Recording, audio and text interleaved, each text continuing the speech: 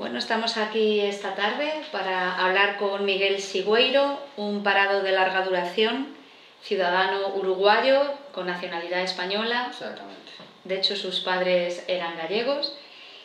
Y lo, lo hemos traído hasta Vigo al Minuto para que nos cuente su situación, como hemos dicho, parado de larga duración, que estás cobrando la ayuda de los famosos 400 euros. 426 euros. Se te va a acabar ahora en, En marzo. Ahora en campaña electoral, que los políticos prometen tanto, ¿tú qué les dirías o qué les pedirías? ¿Qué les pediría? Que miraran por la gente, que en este momento eh, la gente está pasando muy mal y que trataran de, buscar la manera de, de, darle a la, a la gente, eso me corto, darle a la gente este, eh, herramientas para poder salir adelante. En mi caso, yo tengo 50 años y me es muy difícil conseguir un, un trabajo. Este, he, he puesto por todo Vigo eh, currículums y es, es imposible conseguir un, puesto de trabajo. Eso es una de las cosas que, dicen, que dice el gobierno para acabar con la ayuda famosa de los 426 euros. Dice que acabando con esta ayuda va a ser más fácil o se va a incentivar que las personas que estén buscando trabajo lo encontréis. ¿Tú, ¿Tú crees que esto es verdad? ¿Tú crees que esto va a ayudar de verdad? eso? Si, si, ellos me dan de comer sin los 426 euros, que es con lo que me estoy manteniendo, yo sin los 426 euros, ¿cómo como? Hasta que ellos me consigan un trabajo. ¿Cómo, cómo van a, a- fomentar el, el empleo? Que me digan ellos cómo tienen una varita mágica, no sé, van a sacar el- el- el trabajo de- del día a la mañana, ¿de dónde? ¿Cómo van a, cómo van a hacer? eh, ¿Tú qué crees que va a pasar cuando quiten la ayuda? cuando quiten la ayuda, este, mucha, mucha gente vamos a tener problemas para poder subsistir. Yo, yo tengo una mujer, un hijo, tengo que pagar un alquiler. ¿Y qué hago? ¿Cómo lo pago? ¿O cómo, cómo? Que me den una solución, que me digan cómo. Si ellos saben, tienen, tienen, tienen tan claro que quitando la ayuda este, van a, a dar trabajo, eh, no sé explicarme, van a, a crear trabajo, que me lo den el trabajo. Yo no quiero la ayuda, yo quiero trabajar, porque yo en este momento no estoy, no estoy cotizando. Y yo tengo 50 años. ¿Cómo me jubilo después? ¿Cómo voy a vivir después? Esa es mi, mi- mi- gran preocupación. Tengo una familia. ¿Cómo la mantengo? ¿Qué es lo que voy a hacer? No sé. ¿Qué opinas? Hay determinados sectores, sobre todo la cúpula de, los patrones, que dice que eh, pagar el subsidio de desempleo, pagar las ayudas de desempleo, es fomentar que la gente no busque trabajo. ¿Tú estás de acuerdo con esto? ¿Cómo voy a estar de acuerdo con eso? La gente está desesperada buscando trabajo. Yo me encuentro todos los días con muchísima gente en la calle repartiendo currículum, pero ya están la gente en bares, en almacenes, en, en- en- en tiendas. La gente ya está quemada porque tienen currículum de, de- de- de 10 centímetros de alto, porque está lleno de currículum por todos lados. Y en lugares ya ni te abren. Un caso, fui a, a una, a, una, eh, a una nave de, de frutas a entregar un currículum y me dijeron, metelo por el buzón. Ya ni te abren. No te- es que están... No sé qué es lo que van a hacer. Yo no sé, no, no, no tengo idea qué es lo que va a pasar. Y Miguel, tú tienes nacionalidad española, Sí. tu mujer también. sí, Eh, no tenéis ningún problema con el tema de la retirada de la cobertura sanitaria, No, no, os encontráis no. en esa situación. Eh, siendo uruguayos, ¿conocéis a gente pues, que está teniendo problemas con esa retirada de la cobertura? No, yo eh, hasta ahora no, no, no conozco ninguno. No, con, la- con los uruguayos que yo este, tengo trato, uno tiene nacionalidad italiana y la otra es española también. Es uruguaya pero con nacio- nacionalidad italiana uno y el esposo y ella con, con española. Y yo al club de uruguayos no voy mucho, yo los que conozco este, están todos legales. ¿Y qué te todos- parece la medida de retirar a las personas que no tengan papeles o que no tengan los, pues eso, sean irregulares, pues esa retirada? que va a ser peor el remedio que la enfermedad. Que mientras los tengas cubiertos, va los tenés a la gente la tenés más controlada, con se enferma lo podés ayudar, pero si se te enferma más gravemente, este, es lo que me parece a mí, ¿no? Se enferma más gravemente, este, les va a salir más caro al Estado mantenerlo, ¿no? Tenés que internar, si se enferman gravemente, tenés que internar a una persona, tenés que, que cuidar la- los mantenimientos de un hospital, ¿no? ¿Has seguido la campaña electoral para, las- para estas elecciones o no has No, seguido nada? no, no.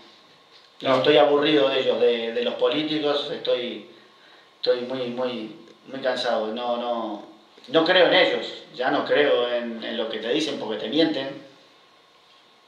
A las pruebas me remito, ¿no? Con lo, lo que ha pasado con, en, la- en las elecciones nacionales, lo que dijeron y lo que están haciendo.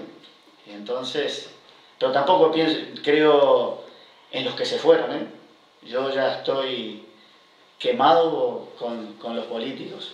Sin querer que nos digas a quién vas a votar, la pregunta es, Yo, ¿vas voto a votar? yo siempre voté a la izquierda, siempre. Pero no sé, mi señora me, me, me, me, dice que tengo que votar el domingo, y bueno, iremos a votar, pero a regañadientes, porque no, no estoy muy, muy, muy convencido de, de ir a Si votar. tuvieras que dar una solución, ¿tú qué crees que se podría hacer para generar empleo en este país? No estaría aquí en este momento si tuviera, si tuviera la respuesta, sería el mago. Algo, pues algo que no se esté haciendo pero que sí que se pudiese hacer. No, no sé. No sé, no sé qué, qué, es, qué es lo que se puede hacer. No, no tengo idea. No, no, no, no, me- no tengo la capacidad yo de, de, de, de poder de saberlo. Tú viniste de Uruguay buscando pues una vida mejor, una prosperidad, Sí, ¿y ahora? Sí, ¿En como yo, momento? como te explicaba antes, este, yo esto ya lo viví. Yo ya lo viví en carne propia. Yo, te, como te decía, yo trabajaba en una multinacional y en dos años se fue de 3.000 personas que trabajábamos, quedaron 200 trabajando. Fue en el año 2002 cuando yo me vine y yo estuve, como te decía, estuvimos tres meses en la puerta de la fábrica con una carpa, movilizándonos, este, pero quedó en la nada, se ganó la patronal y todo el mundo a trabajar y ya está. Que ahora cambió, ahora empezaron a, allá, allá en Uruguay, ¿no? Ahora empezaron ya hace unos años, cuando entró la izquierda al gobierno, empezaron a, a poner, a meter gente de vuelta, a crecer. Y bueno, ahora están mucho mejor. ¿Y te has pensado regresar? No, no. Tengo una hija en Barcelona con mi nieta mi- y tengo un hijo de 20 años aquí que es más de aquí ya que de allá. Tiene sus estudios, sus amigos, su novia y es muy difícil volver. ¿Tú crees, como han dicho muchos políticos, que vivimos durante, una- durante mucho tiempo por encima de nuestras posibilidades? Yo, en mi caso no, nosotros vivíamos normal. Yo era feliz este, teniendo para pagar el alquiler, pudiendo salir un fin de semana a comer por ahí, o cuando teníamos las vacaciones, poderte, yo irme a visitar a mi hija a Barcelona, Mm, normal. En mi caso no vivíamos por encima de nuestras posibilidades porque no, no, no derrochábamos dinero, no podíamos ahorrar tampoco, no te daba para ahorrar, pero vivíamos ahí, al día. Pero ahora se complicó la, la verdad.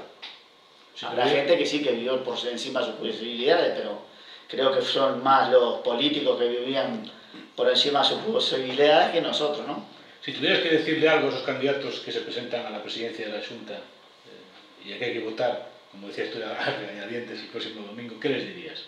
¿O que miren por la gente, que no miren por los partidos, que no miren por el PP, que no miren por el PSOE o por el, o por el, o por el Partido Gallego, que miren por la gente, que traten de ayudar a la gente, que traten de, de buscar la manera de, de, de, crear bolsas de trabajo, no sé en qué, pero de alguna manera este, que se movilicen ellos en el extranjero.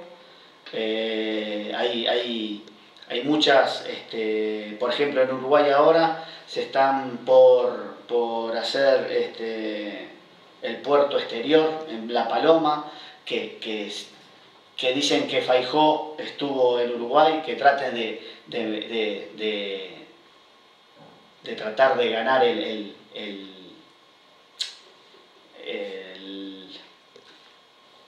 inversiones. Sí, no, este, es, es presentarse a, a, licitación para poder dar trabajo a gente de aquí, llevarla ya a trabajar, este, empresas españolas, también van a hacer eh, una, una boya de gas en la fuera de la Paloma también, no sé, buscar fuera del país este, lo, que no, lo que no hay aquí, no sé. Es que yo no, no, sé, no sé qué es lo que ayudar a, a, los, a las empresas pequeñas para que puedan tomar gente para trabajar, no sé cuál sería eh, la solución. ¿Cómo ves, ¿Cómo ves tú, ya que tus padres tuvieron que irse de, de Galicia para Uruguay, ¿cómo ves el hecho de que en este momento cientos de miles de personas hayan tenido que salir ya de España para, para buscar trabajo fuera? Me hace acordar como cuando se tuvieron que mis padres, ¿no? Mis padres se fueron en el tiempo de la guerra. Y esto parece que fuese dando vuelta, ¿no? Que como que es un ciclo, ¿no? Primero le tocó a ellos, después nos tocó a nosotros venirnos de, Sudamérica para Europa y ahora la gente se está yendo de Europa otra vez para, para América o para, o para Estados Unidos. No sé, es cíclico, parece que fuera esto, no sé. Yo lo, lo no creo que, que, que, sea normal que te tengas que ir de tu país, ¿no? Para, para, poder, para poder vivir un poco mejor lo normal sería quedarte en tu país, lucharla ahí y, este, y que te ayuden a, a, a que te quedes. ¿Crees que los políticos están alejados de la realidad? Sí, alejados no, están, en la estratosfera. Están lejísimos. Ellos viven su historia, su vida, su, viven para sus partidos políticos, les interesa estar, este, en, no perder su sillón, y están ahí en, en, la, en, la, chiquita, como decimos nosotros, eh, en, la, la, de ellos. Ellos buscan sus, sus, beneficios, pero al pueblo no veo que, le, que los ayuden en nada, no nos ayudan. Cada ¿Y, estos, no... ¿Y, estos, políticos gallegos son muy parecidos a los de Uruguay o hay diferencias? Bueno, los políticos son políticos en todos lados. Acá de, aquí debe haber buenos, como allá en Uruguay debe haber buenos también, pero el caso es encontrarlos, ¿no? Pero este, el tema es eso, que, encontrarlos.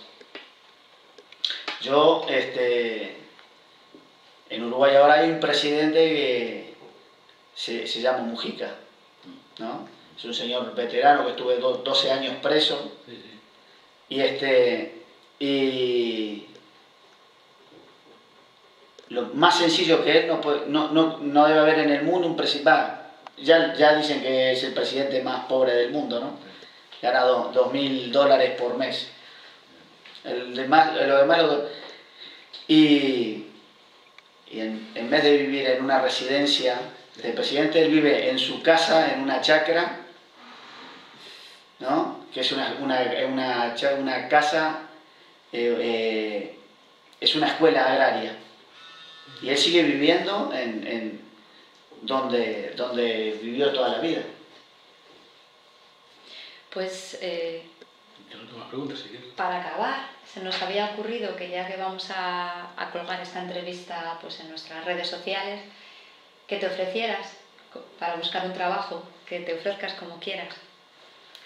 Como no, yo de lo que sea, yo me ofrezco para lo que salga no tengo preferencia por ningún trabajo. Lo que me ofrezcan o lo que me pudiesen dar, yo lo aceptaría, sin problema ninguno.